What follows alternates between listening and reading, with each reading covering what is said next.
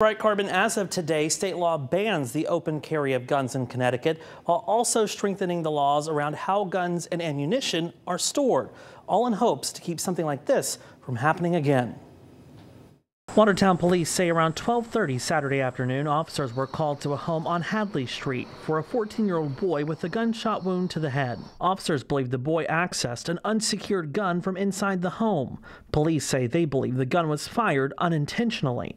The boy was taken to a local hospital where he remains in critical condition. This is not the life you want to be living. This stinks. It's horrible. Kristen Song knows the pain of losing a loved one to an unsecured weapon. Her 15 year old son, Ethan, died after visiting a friend's home back in 2018. And unfortunately, on that day, um, his friend had loaded the gun at a, on a prior occasion and didn't remember, didn't realize that a bullet can get caught in the chamber.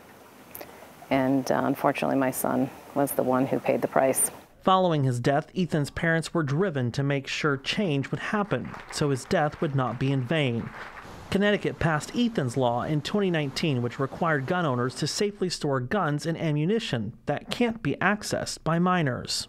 Well, I think it's important that as we talk today on October 1st, and we have expanded the safe storage laws it's the, it's the exact kind of thing that we need because we do know that statistically safe storage saves lives and also prevents injuries. As of now, state law requires that gun owners safely secure and store their guns and ammunition no matter the age of who lives in the home. Um, safe storage is something that is taught um, to all gun owners. It's even something that the NRA preaches.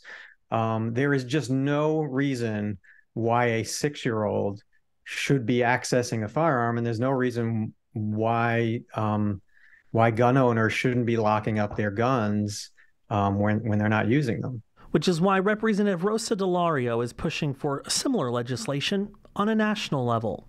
Unless we take action on this, innocent children will continue to harm themselves or continue to die, and that is totally unacceptable. And Kristen Song urges gun owners to look into a PIN code or biometric gun safe, which many can be bought online for under 100 bucks. It's also important to note that Watertown police have not said whether any charges will be filed, but the incident remains under investigation. Live in studio, Jake Garcia, Fox 61, Connecticut's news station.